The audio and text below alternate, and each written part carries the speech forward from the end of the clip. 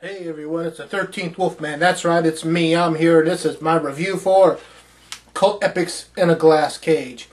movie comes from Cult Epics. They did a really great job on the transfer. It's a high definition transfer. There might have been one or two dark spots, but I think that's just the way it was filmed. It's it's a really amazing film. It's I know someone that says that this is highly disturbing, and in a way it is. But uh, the story itself is just kind of twisted. I could understand why people would call this a horror film.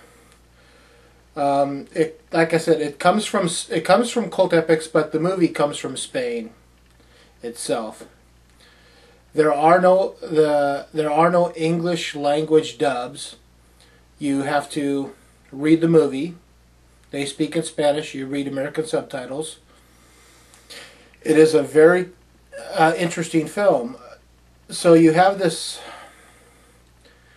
you have this World War II Nazi doctor who, during World War II, did some twisted stuff to some kids while, you know, like I said, he was a war, he was a Nazi doctor. So while he was in charge of prisoners and stuff like that, he messed with these kids and really messed with them uh, he towards the very beginning of the movie, he's messing with this one kid, and then he goes to the top of this building, and we don't see him do it, but we know that he tried to kill himself. He tried to jump off. Fast forward to now, to not now, but 10 years. It's now 1950, I think it's, I think it's 1955. I'm not positive on the year. Um, I watched another movie that was that also had to do with Nazi stuff, so I don't want to. But fast forward to after the war. Let's put it that way. And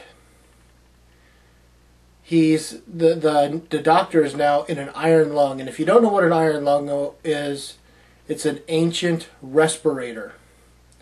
His entire body is paralyzed, and he can't breathe for himself. So they put him in this giant cylindrical glass tube with his head sticking out it's completely sealed and there's a air pump. And with the pressure on the inside of this tube that he's laying in, it causes it put it compresses his chest and then it releases the air and it brings his chest back up. So this is basically breathing for him. It's an ancient respirator, kind of like if you were to watch a TV show today where they're in the doctor's office, someone will cram a tube down someone's throat and do it that way. Well, this is how they used to do it. Uh, so he's in this iron lung, and that's what they were called. So he's in this iron lung, and he can't do anything for himself. He's got a wife, he's got a daughter, and he needs a he needs a nurse, basically.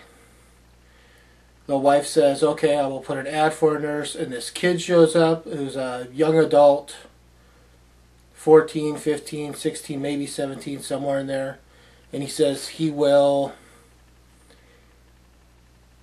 he will care for the old man. He will do things for him. And I'm going to leave that with you right there. I want you to see this movie if you haven't. Uh, the reference to In a Glass Cage is the fact that he's in an iron lung and it's glass on all sides, so technically he's he's stuck in a glass cage which is kind of a cool reference. The movie itself looked good. I really like the look of it. The I, I love the layout, the front, the back, and it's a two disc set from Cult from Cult Epics. One disc and one one for the extras. Overall, the movie itself, I would give three chainsaws. I, I, it's a really bent movie, but I actually liked it. Um, I don't mind reading movies. You know, uh, it, it's actually coming along pretty well now that I've been watching a few more foreign horror films. Uh, it's it's really like I said, it's really done well. I will leave the link to Cult Epics below. You can check their stuff out. This definitely is is a three chainsaw movie. Um, like I said, it's per- the subject matter is pretty bent. So I give you fair warning about that. Please, if you want to, check it out. Uh, do some research. Go online, look up the trailer, see if this movie's for you. Go to cult, go to Cult Epics, check it out, see what see what their synopsis has to say about it. And I don't think you'll be disappointed. I'm the 13th Wolfman, and I'm on the prowl.